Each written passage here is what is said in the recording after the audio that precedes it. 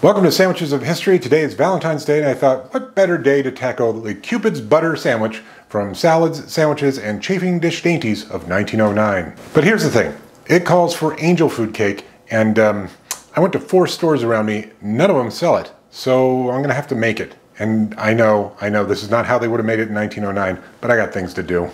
We sift together flour, cornstarch, and sugar. Sift, sift, sift, sift, sift. And then in egg whites we add vanilla, vinegar, and salt. We whip for 30 seconds on medium, then we start adding in sugar on high until soft peaks. Then we fold in our flour mixture, put it into a loaf pan that is not prepared in any way because you want it to stick, believe it or not. Then into a 350 degree oven for 35 to 45 minutes. Not too shabby. Okay, so now I have to invert it on these cans and let it rest upside down for one hour. Okay, to make the filling for the Cupid's butter sandwich, we start off with creamed butter, to which we add egg yolk that has been pushed through a sieve. 1909. What is your obsession with sieved egg yolks? Now we add in orange juice, some orange zest, does not say how much, and powdered sugar.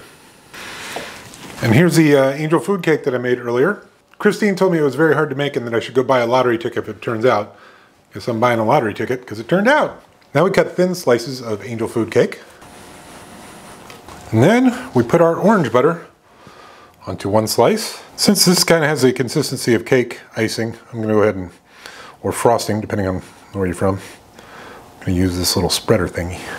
Okay, let's give this Cupid's butter sandwich a go.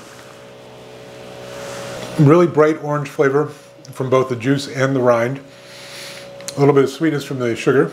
And the egg yolk just sort of brought richness to the butter, but I don't really taste egg at all. This is quite lovely. Clearly this is a dessert sandwich or maybe with tea or something like that. I do think there's one thing I want to add to try and plus it up. I'm going to shave some dark chocolate with almonds onto it. Okay, let's give this plussed up Cupid's butter sandwich a go. Okay, so now we've got dark chocolate, almonds, orange, and butter. This is fantastic, and a little bit of vanilla with the uh, in the angel food cake is just this is great. All right, so the original Cupid's butter sandwich, uh, that was tasty all on its own. I'm going to give that an eight as a dessert sandwich. Tasty, or tea sandwich even. Um, adding in the dark chocolate uh, with almonds shaved onto it, I'm going to bump that up to a nine. That is tasty. I'm definitely going to finish it. I got plenty of angel food cake left over, so you can bet I'll make it again. Maybe not for lunch though. All right, see you tomorrow. So now we have dark chocolate, almonds, orange, butter, and a neighbor with the leaf blower.